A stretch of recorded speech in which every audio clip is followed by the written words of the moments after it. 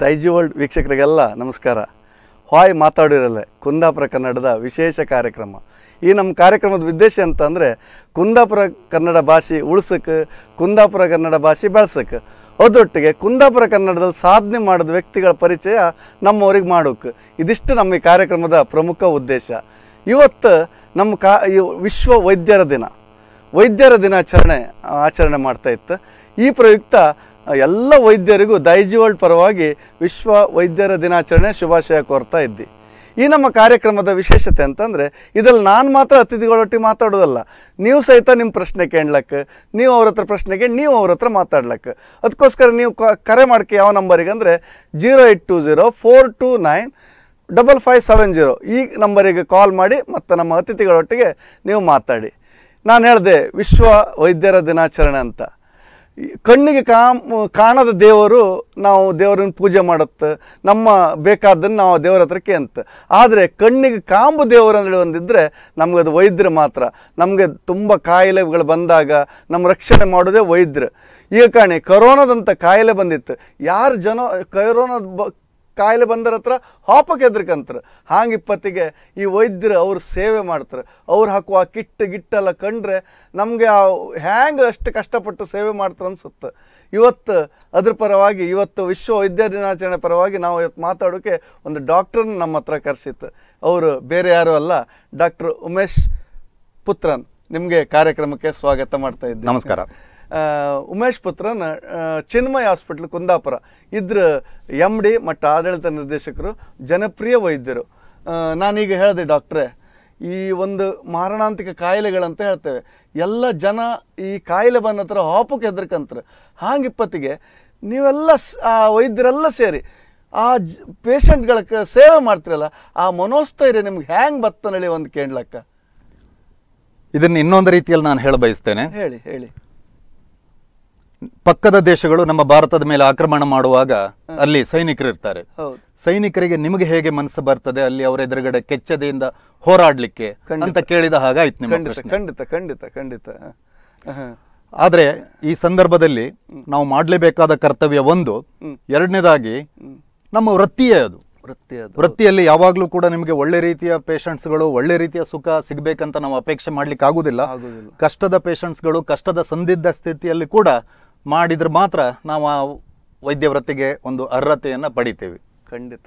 ಇವತ್ತು ವೈದ್ಯರಿಪ್ಪುಕೋಯ್ ಈ ಕಾಯಿಲೆ ಒಂದು ಹದ್ದು ಬಸ್ತಲಿತ್ತು ಜನ ಎಲ್ಲ ನೆಮ್ಮದಿ ಹಂಗೆ ಬದುಕೋಕೆ ಸಾಧ್ಯ ಆತಾಯಿತ್ತು ಆ, ಇವತ್ತು ವೈದ್ಯರು ಬಂದಿರ ಅವರೊಟ್ಟಿಗೆ ನಾನು ಅವ್ರ ಬಗ್ಗೆಯೂ ಸ್ವಲ್ಪ ಮಾತಾಡ್ಕೆ. ಡಾಕ್ಟ್ರೆ ನಾನು ನಿಮ್ಮ ಬಗ್ಗೆ ಕೇಮ್ದಾರೆ. ನಿಮ್ಮ ಹುಟ್ಟು ನಿಮ್ಮ ಬಾಲ್ಯ ಅದ್ರ ಬಗ್ಗೆ ಒಂದೆರಡು ಮಾತು ನಮ್ಮ ವೀಕ್ಷಕರಿಗೆ ಹೇಳಕ್ಕ ನಾನು ಅಪ್ಪಟ ಕುಂದಾಪುರದನು. ಕುಂದಾಪುರದನ. ಕುಂದಾಪುರದ ಒಂದು ಊರು ಹೊಸಾಡ್ ಅಂತ ಅಲ್ಲಿ ಅರಾಟೆ ಅಂತಿದೆ. ಹೊಸಾಡು. ಹೊಸಾಡು ಗ್ರಾಮ ಕುಂದಾಪುರದಿಂದ ಹತ್ತು ಕಿಲೋಮೀಟರ್ ಆಚೆಗೆ. ನಾವೆಲ್ಲ ಹಳ್ಳಿಯಲ್ಲೇ ಬೆಳೆದರು ಹಳ್ಳಿ ಶಾಲೆಯಲ್ಲೇ ಕನ್ನಡ ಮಾಧ್ಯಮ ಶಾಲೆಗೆ ಹೋದರು ಓದ್ದರು. ಗಂಗೊಳ್ಳಿ ಶಾಲೆಗೆ ಕಡೆಗೆ ಹೋಗಿ ಹೈಸ್ಕೂಲ್ ಪಿ ಯು ಸಿ ಮುಗಿಸಿ ಕಡೆಗೆ medical college Karnataka medical college ಹುಬ್ಳಿಯಲ್ಲಿ ಓದಿ ಎಂ ಬಿ ಬಿ ಎಸ್ ಮಾಡಿ ಅಲ್ಲಿಂದ ಕಡೆಗೆ ಮೈಸೂರು ಮೆಡಿಕಲ್ ಕಾಲೇಜಿಗೆ ಹೋಗಿ ಅಲ್ಲಿ ಎಂ ಡಿ ಪದವಿ ಈ ಚರ್ಮರೋಗ ತಜ್ಞರಾಗಿ ನಾನು ಅಲ್ಲಿ ಪದವಿಯನ್ನು ಪಡೆದೆ. ಅದಾದಮೇಲೆ ಕುಂದಾಪುರಕ್ಕೆ ಬಂದದ್ದು. ಬಂದ ಈ ವೈದ್ಯಕೀಯ ವೃತ್ತಿ ಆಯ್ಕೆ ಮಾಡದ್ದು ಅದ್ರ ಬಗ್ಗೆ ನಿಮ್ಗೆ ಬಾಲ್ಯದಿಂದ ಆಸಕ್ತಿಯಿಂದಲ ಅಥವಾ ಹ್ಯಾಂಗ್ ಅದು ಆಯ್ಕೆ ಮಾಡ್ಕೊಂಡದ್ದು ಹ್ಯಾಂಗ್ ನಿಮ್ಗೆ ಈ ವೃತ್ತಿ ಬೇಕಂದೇಳಿ ಬಹಳ ಮುಂಚಿತವಾಗಿ ಆಲೋಚನೆ ಮಾಡಿ ನಾನು ಮಾಡದ್ದಲ್ಲ ಅಲ್ಲ.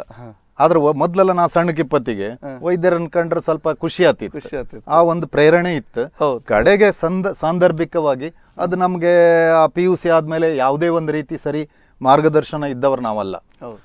ಆಕಸ್ಮಿಕವಾಗಿ ಏನೋ ಒಂದು ರೀತಿಯಲ್ಲಿ ಹೋ ಹೋದಂಗಾಯ್ತು. ಅಂತೂ ಎಲ್ಲೆಲ್ಲಿ ಯಾರ್ಯಾರು ಮುಟ್ಟಬೇಕು ಅಲ್ಲಲ್ಲಿಗೆ ಅವ್ರು ಮುಟ್ಟುವುದು ಕಡೆಗೆ. ಖಂಡಿತ ಖಂಡಿತ ಖಂಡಿತ. ಈಗ ಒಂದು ಕುಂದಾಪುರದಂಥ ಒಂದು ಪ್ರದೇಶದಲ್ಲಿ ಒಂದು ಸುಸಜ್ಜಿತ ಆಸ್ಪತ್ರೆ ಸ್ಥಾಪನೆ ಮಾಡ್ರಿ. ನೀವು ನಿಮ್ಮ ಫ್ಯಾಮಿಲಿಯರೆಲ್ಲ ಸೇರಿ ಅನ್ಸುತ್ತೆ ನನಗೆ ಇದ್ರ ಬಗ್ಗೆ ಇದು ಆಸ್ಪತ್ರೆ ಸ್ಥಾಪನೆ ಮಾಡುವ ಹಿಂದೆ ನಿಮ್ಮ ಶ್ರಮ ನಿಮ್ಮದು ಕಷ್ಟ ಏನಾದರೂ ಇತ್ತ ಅಥವಾ? ಆಸ್ಪತ್ರೆ ಅಂದ್ರೆ ನಾನು ಮೊದಲು ಕುಂದಾಪುರದಾಗೆ ಫಸ್ಟ್ ಬಂದು ಒಂದು ಮೂರು ವರ್ಷ ನಂದು ಕ್ಲಿನಿಕ್ ಇದ್ದಿತ್ತು.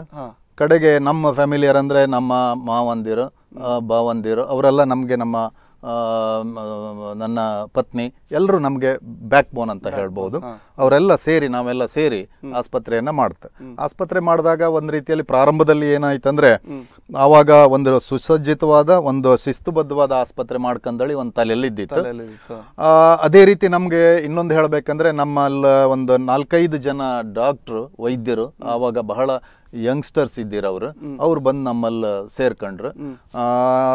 ನಮ್ಮಲ್ಲಿ ಈಗ ಹಾಗೆ ಮೋಹನ್ ಕಾಮತ್ರ ಅಂತೇಳಿ ಡಾಕ್ಟರ್ ಶ್ರೀದೇವಿ ಅಂತೇಳಿ ಬಾಲಕೃಷ್ಣ ಶೆಟ್ರ್ ಅಂತೇಳಿ ದಿನೇಶ್ ಕುಮಾರ್ ಶೆಟ್ರ್ ಅಂತೇಳಿ. ಒಂದು ಕಾಲ್ ಇತ್ತು ಮಾತಾಡುವ. ಹಾಂ. ಹಲೋ ಹಲೋ ನಮಸ್ಕಾರ. ಹಲೋ ನಮಸ್ಕಾರ ಯಾರು ಮಾತಾಡೋದು?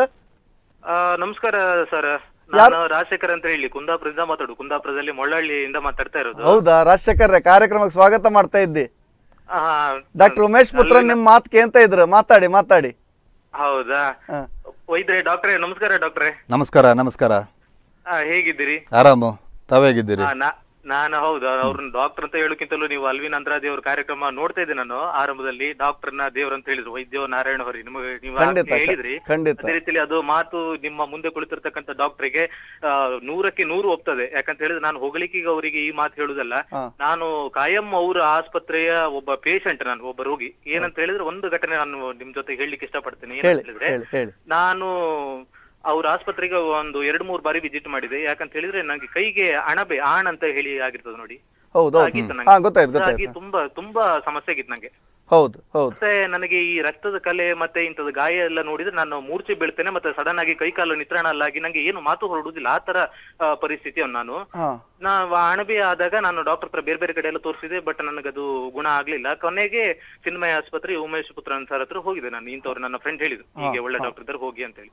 ಅಲ್ಲಿ ಹೋದಾಗ ಡಾಕ್ಟರ್ ನನ್ನ ಆಪರೇಷನ್ ಮಾಡಿ ಕಟ್ ಮಾಡಿ ತೆಗಿಬೇಕು ಮರೆಯ ಇದು ಇಲ್ಲಾಂದ್ರೆ ಹೋಗುದಿಲ್ಲ ದೊಡ್ಡದಾಗ್ತದೆ ನೀನ್ ನೆಗ್ಲೆಕ್ಟ್ ಮಾಡೋದು ಯಾಕೆ? ಅಂತ ಹೇಳಿ ನಂಗೆ ಸ್ವಲ್ಪ ಫಸ್ಟಿಗೆ ಬೈದ್ರು.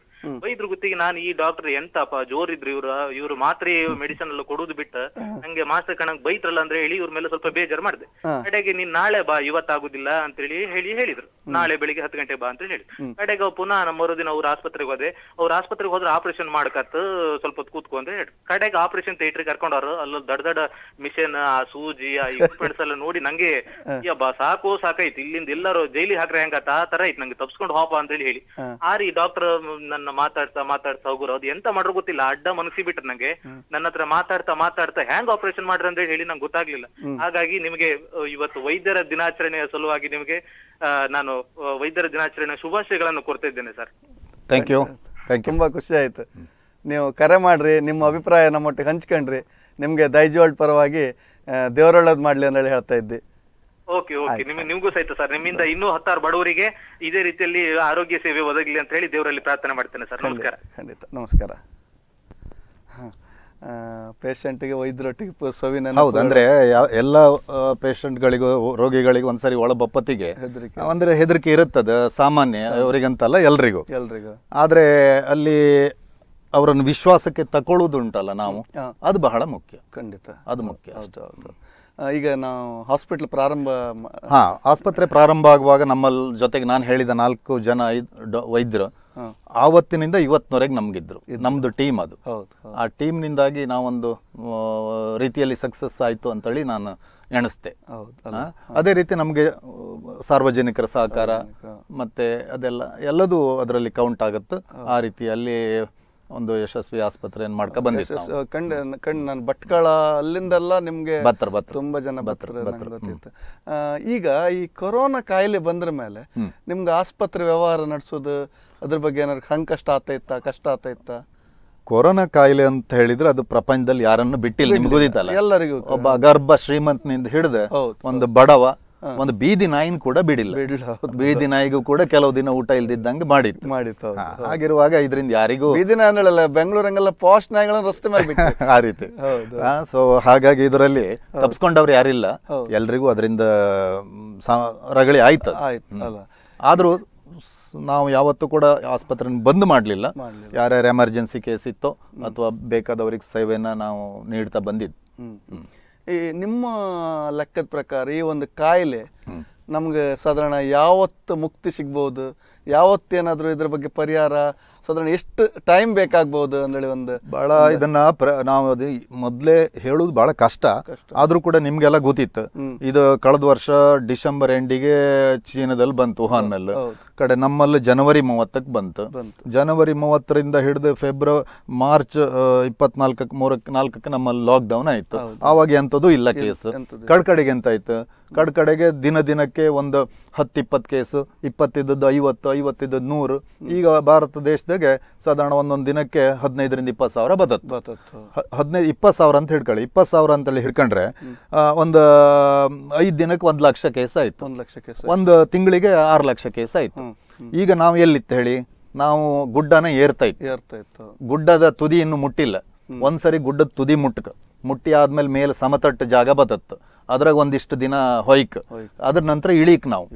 ಈಗ ಹೆಚ್ಚು ಕಮ್ಮಿ ನಮ್ಮ ತಜ್ಞರು ಹೇಳುವ ಪ್ರಕಾರ ಹೆಚ್ಚು ಕಮ್ಮಿ ಸಾಧಾರಣ ಗುಡ್ಡದ ತುದಿ ನಾವು ಮುಟ್ಟುಕೆ ಅಂದ್ರೆ ಪೀಕ್ ನಾವು ತಲುಪಲಿಕ್ಕೆ ಸಾಧಾರಣ ಏನಿಲ್ಲ ಅಂತೇಳಿ ಹೇಳಿದ್ರು ಕೂಡ ಸೆಪ್ಟೆಂಬರ್ ಅಂತೂ ಕನಿಷ್ಠ ಆಗಿ ಆಗತ್ತಂತ್ರ ಅವರು.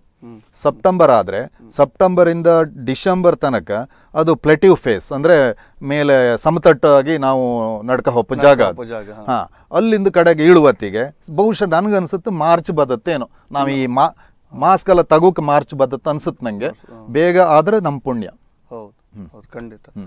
ಇದ್ರ ಈ ಟೈಮಲ್ಲಿ ಜನರ ಜವಾಬ್ದಾರಿ ಹ್ಯಾಂಗ್ ಅವರು ನಿರ್ವಹಿಸ್ಕೊಂಡು ಒಂದು ಇದರಲ್ಲಿ ಇರುವುದೇ ಜನರದ್ದು. ಜನರದ್ದು ಇದು ಇದರಲ್ಲಿ ಎಂತ ಅಂದ್ರೆ ಇದರಲ್ಲಿ ಯಾವ ಕಾರಣಕ್ಕೂ ನಾವು ಇದು ಮಾಡೋಕ್ಕಾಗ ಸಸಾರ ಮಾಡೋಕ್ಕಾತಿಲ್ಲ ಈಗ ಎಷ್ಟು ಸರ್ಕಾರ ಹೇಳುತ್ತೆ ಸಂಘ ಸಂಸ್ಥೆ ಹೇಳುತ್ತೆ ವೈದ್ಯರೇ ಹೇಳುತ್ತಾರೆ ಮಾಸ್ಕ್ ಹಾಕೊಳ್ಳಿ ಡಿಸ್ಟೆನ್ಸ್ ಮೇಂಟೈನ್ ಮಾಡಿ ನಾವೆಲ್ಲ ಮಾಡುವರೇ ಮಾಡ್ತಾ ಇದ್ರೆ ಬಿಟ್ರೆ ಮಾಡದೆ ಆ ಅಭ್ಯಾಸ ಇಲ್ದಿದ್ದರ ಇವತ್ತಿಗೂ ಮಾಡೋದಿಲ್ಲ. ಆ ಅಭ್ಯಾಸ ಅಂದ್ರೆ ಇದರಲ್ಲಿ ಎಂತ ಅಂದ್ರೆ ಇದಕ್ಕೆ ಬಿಹೇವಿಯರಲ್ ಇಂಟರಪ್ಷನ್ ಅಂತ ಹೇಳ್ತಾರೆ. ಅವ್ರ ಬಿಹೇವಿಯರ್ ನಾವು ಚೇಂಜ್ ಮಾಡು. ನಮ್ಮಂತ ಭಾರತದಷ್ಟು ಒಂದು ಇಷ್ಟು ದೊಡ್ಡ ಜನಸಂಖ್ಯೆ ಇಪ್ಪಲ್ ಇಷ್ಟು ಅನಕ್ಷರಸ್ತ್ರ ಹೆಚ್ಚಿಪ್ಪಲ್ ಅದನ್ನ ಇಂಪ್ಲಿಮೆಂಟ್ ಮಾಡೋದು ನಿಜವಾಗ್ಲೂ ಕಷ್ಟ. ಒಂದು ಕಾಲ್ ಇತ್ತು. ಆಯ್ತು. ಹಲೋ ನಮಸ್ಕಾರ. ಹಲೋ ನಮಸ್ತೆ. ಯಾರು ಮಾತಾಡೋದು? ಇದು ಪ್ರಸನ್ನ ಅಂತ ಹೇಳಿ ಮಂಗಳೂರಿಂದ. ಪ್ರಸನ್ನ ಮಂಗಳೂರು ಕಾರ್ಯಕ್ರಮಕ್ಕೆ ಸ್ವಾಗತ ಮಾಡ್ತಾ ಇದ್ದಿ. ಥ್ಯಾಂಕ್ ಯು ಅಲ್ವಿನ್ ಅವರೇ. ನಮ್ಮೊಟ್ಟಿಗೆ ಡಾಕ್ಟರ್ ಉಮೇಶ್ ಪುತ್ರನ್ ಇದ್ರು ನಿಮ್ ನೀವು ಮಾತಾಡ್ಲಕ್ಕ ಅವ್ರಿಗೆ ಕೇಂತ ಇತ್ತು ಅವರಿಗೆ. ಅದೇ ಸಿಸ್ಟಮ್ ಅಲ್ಲಿ ಕಂಡೆ ಕಂಡು ಖುಷಿ ಆಯ್ತು ಅದಕ್ಕೆ ಫೋನ್ ಮಾಡಿದೆ. ಮಾತಾಡಿ ಮಾತಾಡಿ ಮಾತಾಡಿ ಮಾತಾಡಿ. ಡಾಕ್ಟ್ರೇ ನಮಸ್ಕಾರ happy doctors day thank you thank you ಗೊತ್ತಾಗ್ಲಿಲ್ಲ ಅನ್ಸುತ್ತೆ ನಿಮ್ಗೆ. ನೀವು ನಮ್ಮ ನಮ್ಮ ಪ್ರಸನ್ನ ಅಲ್ಲ. R J Prasanna. R J Prasanna. ಹೇಳಿ ಪ್ರಸನ್ನ. ನಾನು ಸ್ಟುಡಿಯೋದಲ್ಲಿದ್ದೆ. ಗೊತ್ತಾಯ್ತು. ಜಸ್ಟ್ ಫೇಸ್ಬುಕ್ ಅಲ್ಲಿ ಲೈವ್ ಬರ್ತಾ ಇತ್ತಲ್ಲ ನೀವು ಮತ್ತೆ ಅಲ್ವಿನ್ ಅಲ್ವಿನ್ ಅವರಿಗೆ ಫಸ್ಟ್ ಅಭಿನಂದನೆ ಹೇಳಕ್ ಇಷ್ಟಪಡ್ತೇನೆ ಅಂತಕ್ಕಂತ ಹೇಳಿದ್ರೆ ಒಂದು ಕುಂದಾಪುರ ಭಾಷೆಂಗೆ ಈ ತರ ಗೆಸ್ಟ್ ಗಳನ್ನ ಕರೆದು ಒಂದು ಒಳ್ಳೆ ಪ್ರೋಗ್ರಾಮ್ ಕೊಡ್ತಾ ಇದ್ರಿ ಅಲ್ವಿನ್ ಅವರೇ. ಧನ್ಯವಾದ ಧನ್ಯವಾದ. ಇದೇ ತರ ಇನ್ನು ಒಳ್ಳೊಳ್ಳೆ ಕಾರ್ಯಕ್ರಮ ನಿಮ್ಮಿಂದ ಬರ್ಲಿ. ಆಲ್ರೆಡಿ ನೀವು ಒಬ್ಬ ದೊಡ್ಡ ಕಾಮಿಡಿಯನ್ ನಾಟಕ ಫೋಟೋಗ್ರಾಫರ್ ಅದೆಲ್ಲ ಮಾಡ್ತಾ ಇದ್ರಿ. ಅದ್ರೊಟ್ಟಿಗೆ ಇದು ಕೂಡ ಒಂದು ಹೊಸ ಇನ್ನಿಂಗ್ಸ್ ಶುರು ಮಾಡಿರಿ. ಇದು ಆದಷ್ಟು ಬೇಗ ಸೆಂಚುರಿ ಹೊಡಿಲಿ. ಹಾಗೆ ಡಾಕ್ಟರ್ ನನಗೆ ಉಮೇಶ್ ಪುತ್ರನ್ ಸರ್ ತುಂಬಾ ಇಷ್ಟ ಯಾಕಂತ ಹೇಳಿದ್ರೆ ತುಂಬಾ ಕೂಲ್ ಆಗಿ ಕಾಮ್ ಆಗಿ ಇರ್ತಾರೆ. ಆ, ಅದ್ರ ಜೊತೆಗೆ ಬರೀ ಒಬ್ಬ ಡಾಕ್ಟರ್ ಆಗಿ ಮಾತ್ರ ಅಲ್ಲ ಅವರು ಒಬ್ಬ ಒಳ್ಳೆ ರೈಟರ್ ತುಂಬಾ ಅವ್ರು ಬರ್ದದ್ದು ಎಲ್ಲಿ ಪಬ್ಲಿಷ್ ಆಗಿದೆ ಅದಕ್ಕಿಂತ ಹೆಚ್ಚಾಗಿ. ಸಾಕಷ್ಟು ಸರ್ತಿ ನಾನು ಕಂಡಿದೆ ಕೆಲವೊಂದು ಕಾರ್ಯಕ್ರಮಕ್ಕೆ ಹೋದಾಗ ಕೆಲವರ ವ್ಯಕ್ತಿ ಚಿತ್ರ ವ್ಯಕ್ತಿ ಪರಿಚಯ ಅಲ್ಲ ಬರೆಯುವಾಗ ಎಷ್ಟು ಚಂದದ ಕನ್ನಡ ಭಾಷೆ ಶಬ್ದಗಳೆಲ್ಲ ಡಾಕ್ಟರ್ ಎಲ್ಲಿಂದ ಸಿಕ್ಕತ್ತಂತೇಳಿ ನಂಗೆ ಗೊತ್ತಿಲ್ಲ. ಅಲ್ಲ ನೀವು ಹೇಳುಕ ಒಂದು ಹೊಸ ವಿಷಯ ಗೊತ್ತಾಯ್ತು ನಮ್ಗೆ. ಹೌದು ಹೌದು. ಸಾಕಷ್ಟು ಸುಮಾರು ಸರ್ತಿ ನಾನು ಬೇರೆ ಬೇರೆ ಪ್ರೋಗ್ರಾಮ್ ಅಲ್ಲೆಲ್ಲ. ಆ, ಶಬ್ದಗಳನ್ನ ಪ್ರಾಸಬದ್ಧವಾಗಿ ಬರೆದು ಅದನ್ನ ಕನೆಕ್ಟ್ ಮಾಡುವ ವೇ ಇದೆ ಅಲ್ಲ. It's fabulous.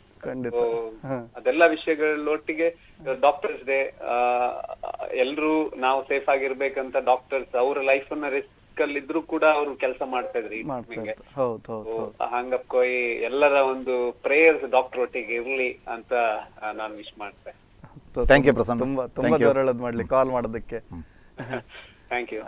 ಆಯ್ತು ಓಕೆ ಆರ್ ಜೆ ಪ್ರಸನ್ನ ತುಂಬಾ ಗೊತ್ತು, ಗೊತ್ತು. ಹೌದು ಹೌದು. ಆ, ಆ, ಈಗ ನಾನು ನಂಗೆ ಇನ್ನೊಂದೀಗ ಸಂದೇಹ ಇಪ್ಪುದಂತಂದ್ರೆ ಈ ಕೊರೋನಾ ಬಂದಾಗ ಲಾಕ್ ಡೌನ್ ಸ್ಟಾರ್ಟ್ ಆಯ್ತು. ಫಸ್ಟ್ ಯಾರು ಒಬ್ಬ ರೋಗಿ ಇದ್ರೆ ಆ ಇಡೀ ಗ್ರಾಮನ ಸೀಲ್ ಡೌನ್ ಮಾಡ್ತಿದ್ರು. ಕಡೆಗೆ ಸ್ವಲ್ಪ ದಿನ ಬಿಟ್ಟು ಆ, ಏರಿಯಾ ಸೀಲ್ ಡೌನ್ ಮಾಡೋಕೆ ಶುರು ಮಾಡ್ರು. ಈಗ ಖಾಲಿಯ ಮನಿ ಮನೆ ಮಾತ್ರ ಸೀಲ್ ಡೌನ್ ಮಾಡ್ತಾರೆ. ಸೊ ಇದಂದ್ರೆ ಇದು ಹಂತ ಹಂತ ಕಡಿಮೆ ಮಾಡೋಕೆ ಕೊರೋನಾದ ಹಾವಳಿ ಪ್ರಭಾವ ಕಡಿಮೆ ಆದ ಅಥವಾ ಇದಕ್ಕೆ ರೀಸನ್ ಅಂತ ಹೇಳಿ ನನಗೆ ಪ್ರಾರಂಭದಲ್ಲಿ ಸ್ವಲ್ಪ ಸ್ವಲ್ಪ ಸ್ವಲ್ಪ ಕೇಸ್ ಇದ್ದಿತ್ತು. ಎಲ್ಲೋ ಅಲ್ಲೊಂದು ಇಲ್ಲೊಂದು ಅಲ್ಲೊಂದು ಆವಾಗ ಒಂದೊಂದು ಗ್ರಾಮನ ಬಂದ್ ಮಾಡ್ರೆ ಏನು ದೊಡ್ಡ ವ್ಯತ್ಯಾಸ ಆತಿಲ್ಲ ಇತ್ತು. ಈಗ ಒಂದ್ ಗ್ರಾಮದಾಗೆ ಹತ್ತು ಕೇಸ್ ಬದತ್ತು. ಆವಾಗ ಎಂತ ಮಾಡ್ಲಿಕ್ಕೆ ಆಗುದಿಲ್ಲ. ಇದಂದ್ರೆ ಒಂದ್ ರೀತಿ ದ್ವಂದ್ವದ ಪರಿಸ್ಥಿತಿ. ಈಗ ನಮ್ಮ ಒಂದು ಹಣಕಾಸಿನ ಪರಿಸ್ಥಿತಿ ಎಲ್ಲರದ್ದು ಬಹಳ ಕಷ್ಟ ಆದಳಿಕೆ. ಈಗ ಹಾಂಗ್ ಬಂದ್ ಮಾಡೋಕೋರ್ ಈಗ ಒಂದು ಕಂಟಿನ್ಯೂಸ್ ನಾ ಹೇಳ್ದಂಗೆ ಡಿಸೆಂಬರ್ ವರೆಗೂ ಬಂದ್ ಮಾಡ್ತಾ ಕಳ್ಕತ್ ಈ ಇಡೀ ಇಂಡಿಯಾನ ಸೊ ಅದು ನಾವು ಎಲ್ಲೋ ಒಂದು ರೀತಿಯಲ್ಲಿ ಬ್ಯಾಲೆನ್ಸ್ ಮಾಡ್ಕತ್. ಮತ್ತೆ ಅದಕ್ಕಿಂತ ಹೆಚ್ಚು ನಮ್ಮ ಜನರೇ ತಿಳ್ಕೊಬೇಕು. ಜನರೇ ತಿಳ್ಕೊಳ್ಬೇಕು ಮತ್ತೆ ಏನೇನು ಜನರು ಕರೆಕ್ಟ್ ಇದ್ರೆ. ಅಂದ್ರೆ ಅಷ್ಟು ಫಾಲೋ ಮಾಡ್ರೆ ಅವಾಗ ಏನು ತೊಂದರೆ ಆತಿಲ್ಲ. ಇದು ಬಹಳ ಕಷ್ಟ ನಮ್ಮ ನಮ್ಮವರಿಗೆ ಹೇಳುವಂಥದ್ದು ಹೌದು ಹೌದು. ಈಗ ಜನರಲ್ಲಿ ಇನ್ನೊಂದೊಂದು ನಂಬಿಕೆ ಇತ್ತು ನಾನು ಕಂಡ ಪ್ರಕಾರ. ಈ ಉಷ್ಣಾಂಶ ಇದ್ದಲ್ಲ ಬಿಸಿಲಿದ್ದಲ್ಲೆಲ್ಲ ಕೊರೋನಾ ಬತ್ತಿಲ್ಲ ಈ ತಣ್ಣ ಎ ಸಿ ಇದ್ದಲ್ಲ ತಂಪು ಪ್ರದೇಶದಲ್ಲಿ ಮಾತ್ರ ಕೊರೋನಾ ಬತ್ತಂದೇಳಿ ಅಂದ್ರೆ ಕೆಲವರು ಒಂದು ಒಂದು ಆ ರೀತಿ ಬಿಹೇವ್ ಮಾಡ್ತಾರೆ. ಇದು ಹೌದಾ? ಪೂರ್ತಿ ಸತ್ಯ ಅಲ್ಲ. ಹೇಳ್ತಾರೆ ಏನಂತ ಹೇಳಿದ್ರೆ ತಜ್ಞರು ಹೇಳೋ ಪ್ರಕಾರ ಸ್ವಲ್ಪ ಈ ವೈರಸ್ಗಳು ಎಲ್ಲ ಅಂದ್ರೆ ಶಾಖಕ್ಕೆ ಇದು ಪರಿ ಅದ್ರ ಪ್ರಭಾವ ಕಡಿಮೆ ಆತ್ತ ಕಡಿಮೆ ಸ್ವಲ್ಪ ಅದು ತಗ್ಗತ್ತ ಅಂತೇಳಿ. ಹಾಗಂತ ಶಾ ಈ ಶಾಖದ ಉಷ್ಣಾಂಶ ಇರುವ ಪ್ರದೇಶದಲ್ಲಿ ಬತ್ತೆ ಇಲ್ಲ ಅಂತ ಹೇಳೋಕಾತಿಲ್ಲ ನಮ್ದು ಇಂಡಿಯಾ ನಮ್ಗೆ ಕೊರೋನಾ ಬಂದದ್ದೇ ಸ- ವಯಸ್ಸಾಗ್ದಂಗ ವಯಸ್ಸಾಗ್ದಂಗೆ ಅದೇ. ಒಂದು ಕಾಲ್ ಇತ್ತು. ಹಲೋ ನಮಸ್ಕಾರ. ಸರ್ ನಮಸ್ತೆ. ಯಾರು ಮಾತಾಡೋದು? ಇದು ಮಂಗಳೂರಿಂದ ಯಶವಂತ್ ಬೋಳೂರ್ ಅಂತ. ಹೌದಾ? ಯಶವಂತರವರೇ ಕಾರ್ಯಕ್ರಮಕ್ಕೆ ಸ್ವಾಗತ ಮಾಡ್ತಾ ಇದ್ದೆ. ಅದೇ ಪ್ರಥಮವಾಗಿ ವೈದ್ಯರ ದಿನದ ಈ ದಿವಸ ತಾವು ಡಾಕ್ಟರ್ ಉಮೇಶ್ ರವರನ್ನ ಕರೆದದ್ದಕ್ಕೆ ಬಹಳ ಅವರಿಗೆ ಅಭಿನಂದನೆ. ಥ್ಯಾಂಕ್ ಯು ಥ್ಯಾಂಕ್ ಯು ಅವರಿಗೆ ಅಭಿನಂದನೆ. ಥ್ಯಾಂಕ್ ಯು ಡಾಕ್ಟ್ರೆ ಕುಂದಾಪುರದಲ್ಲಿ ನಾನೊಮ್ಮೆ ಬಹುಶಃ ನಾನು ಮುಂಗಾರು ಪತ್ರಿಕೆಯಲ್ಲಿದ್ದೆ. ಹಾ. ಆಗ ನಿಮ್ಮ ಮನೆಗೆ ಬಂದ ನೆನಪು ಅಂಶ ರಾಜ ಅಂಶ ಅಂತ ಮನೆ ಹೆಸರಲ್ಲ ಡಾಕ್ಟ್ರೆ? ಅಲ್ಲ ಅಲ್ಲ. ಯಾವಾಗ ಇದು? ಹೇಳ್ತಾ ಇಲ್ಲ. ಯಾವಾಗ ಇದು? ಇದು ಒಂದು ಹತ್ತು ವರ್ಷ ಆಯ್ತಾ ಅಂತ. ಆ, ಆ, ಇಲ್ಲ ಆ ತರ ಅಲ್ಲ? ಅಲ್ಲ ಅದಲ್ಲ ಹೆಸರು. ಯಾ ಬಂದಿದ್ದೀರಾ ನೀವು? ನಮ್ಮ ನಿಮ್ಮ ಮಾವ ನಾರಾಯಣ ಅಂತ ಬಹುಶಃ. ಆ, ಅಲ್ಲ. ಬಂದ ನೆನಪು. ಅಲ್ಲ ಅಲ್ಲ. ಅಲ್ವಾ? ಸ್ವಲ್ಪ ಆಚೆ ಈಚೆ ಆಗಿದೆ. ಹೌದು. ಇರ್ಲಿ ಎನಿವೆ ನಿಮ್ಮ ಒಂದು ತುಂಬಾ ತುಂಬಾ ಪ್ರತಿಸ್ಪಂದನೆಗೆ ಧನ್ಯವಾದಗಳು. ಹಾಗೆ ತಾವು ಅವರೇ ಅಂತ ನಾನು ಹಾ ಧನ್ಯವಾದ. ಈಗ ನೆನಪಾಯ್ತು ಓಕೆ ಓಕೆ. ಸರಿ ಧನ್ಯವಾದ ಸರ್ ಧನ್ಯವಾದ. ಕರೆ ಮಾಡೋದಕ್ಕೆ. Okay okay thank okay okay.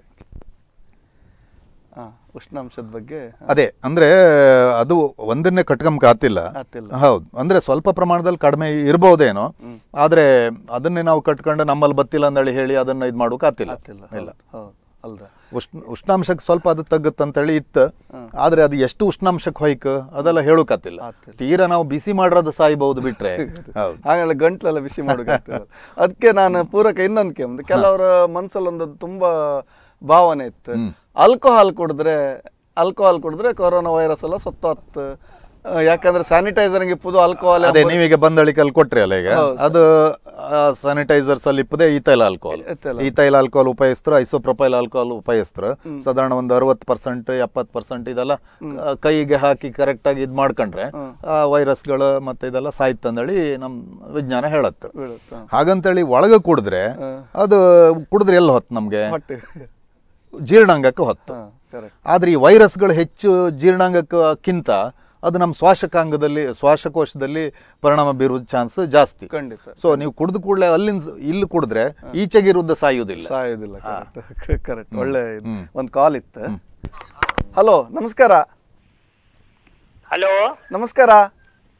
ನಮಸ್ತೆ. ಯಾರು ಮಾತಾಡೋದು? ನಾನು ಡೇವಿಡ್ ಸಿಕ್ವರ ಅಂತ ಫಾದರ್ ಮುಲ್ಲರ್ ಸ್ಪಿಯರ್. ಓ ನಮಸ್ಕಾರ ಡೇವಿಡ್ ರವರೇ. ಕಾರ್ಯಕ್ರಮಕ್ಕೆ ಸ್ವಾಗತ ಮಾಡ್ತಾ ಇದ್ದಿ. ಹಾ. ನಮ್ಮ ಡಾಕ್ಟರ್ ಉಮೇಶ್ ಪುತ್ರ ಇದ್ರೆ ಮಾತಾಡಿ ಮಾತಾಡಿ. ಆಯ್ತಾಯ್ತು. ಹಾ. ಮಾತಾಡಿ ಕೇಂತ ಇತ್ತು ಅವರಿಗೆ? Hello? Hello David Ray doctor? ನಮಸ್ಕಾರ ಹೇಳಿ. ಡೇವಿಡ್ ರೇ ಹೇಳಿ. Returns of the day thank you ಧನ್ಯವಾದ. ಹ್ಮ್. So remembering and praying for all doctors who are giving uh, risking their lives at this pandemic. Thank you always uh, keep my uh, keep all doctors in my prayers especially at this uh, panic time Thank you. all ನೀವು the best Doctor, take care. Thank you ನೀವು ಕೂಡ ಒಂದು ರೀತಿ corona ವಾರಿಯರೇ ಅಲ್ದಾ ಆಸ್ಪತ್ರೆಯಲ್ಲೇ ಇಪ್ಪರಲ್ಲ thank you ನಿಮಗೂ ಕೂಡ ಥ್ಯಾಂಕ್ ಯು ಥ್ಯಾಂಕ್ ಯು ಹ್ಞೂ okay, doctor. Thank you thank Okay, you let us take care of each other. Thank you. ಧನ್ಯವಾದ ತುಂಬಾ ಧನ್ಯವಾದ ಕಾಲ್ ಮಾಡೋದಕ್ಕೆ Okay, okay. ಕೊರೋನಾ ವಾರಿಯರ್ಸ್ ಹೌದು ಕೊರೋನಾ ವಾರಿಯರ್ಸ್ ಅಲ್ಲಿ ಎಲ್ಲರೂ ಬಂತು. ಬರೀ ಡಾಕ್ಟರ್ ಮಾತ್ರ ಅಲ್ಲ. ಒಂದು ಆಸ್ಪತ್ರೆಯಲ್ಲಿ ನಿರ್ಮಯ ನರ್ ನೈರ್ಮಲ್ಯ ಅವ್ರ ಸ್ಟಾಫ್ ಏನಿದ್ರು ಕ್ಲಾಸ್ ಫೋರ್ ಅಥವಾ ಸ್ಕ್ಯಾವೆಂಜರ್ಸ್ ಅಥವಾ ಬೇರೆ ಸ್ಟಾಫ್ ಆಯಾ ಸಿ ಎಸ್ ಇಂದ ಹಿಡಿದು ಕ್ಲೀನಿಂಗ್ ಸ್ಟಾಫ್ ಅವರೆಲ್ಲರೂ ಕೊರೋನಾ ವಾರಿಯರ್ ಅಂತಲೇ ನಾವು ಹೇಳ್ಬೋದು. ಯಾಕಂದ್ರೆ ಅವರಷ್ಟು ರಿಸ್ಕ್ ತಕೊಂಡು ಅವ್ರು ತಮ್ಮ ಒಂದು ಜೀ ಪ್ರಾಣವನ್ನು ಇಟ್ಟು ಕೆಲಸ ಮಾಡ್ತಾ ಇರುವ ಒಂದು ಸಿಚುವೇಶನ್ ಈಗ. ಆ, ಈಗ ಇನ್ನೊಂದು ನನ್ನ ಹತ್ರ ಪ್ರಶ್ನೆ ಇಪ್ಪದು. ವಾಟ್ಸಪ್ಪಲ್ಲೆಲ್ಲ ಮೆಸೇಜ್ ಬರ್ತತ್ತೆ ಈ ಮಾಂಸಾಹಾರ ತಿಂಬರಿಗೆ ಕೊರೋನಾದ ಎಫೆಕ್ಟ್ ಜಾಸ್ತಿ. ಸಸ್ಯಾಹಾರ ತಿಂಬರಿಗೆ ಕೊರೋನಾ ಏನು ಮಾಡೋಕೆ ಅಷ್ಟು ಕ ಆತಿಲ್ಲ ಅಂದೇಳಿ ರೀತಿಯಲ್ಲಿ ಕೆಲವು ಮೆಸೇಜ್ಗಳು ಬರ್ತಿದ್ದು ಸತ್ಯವ. ಎಲ್ಲೂ ಅದು ವೈಜ್ಞಾನಿಕವಾಗಿ ದೃಢಪಟ್ಟಿಲ್ಲ. ಹಾಗೆಂತ ಇಲ್ಲ. ಕೊರೋನಾಕ್ಕೆ ಅಂದ್ರೆ ಈಗ ಏನಾಗ್ತಂದ್ರೆ ಈ ಕೆಲವು ಸಸ್ಯಾಹಾರ ಅಂತೇಳಿ ಹೇಳಿದ್ರೆ ಸ್ವಲ್ಪ ಆಂಟಿ ಆಕ್ಸಿಡೆಂಟ್ ಗುಣ ಇರುತ್ತೆ. ಅಂತೇಳಿ ಜೀವಕ್ಕೆ ಒಳ್ಳೇದು ಅಂತೇಳಿ.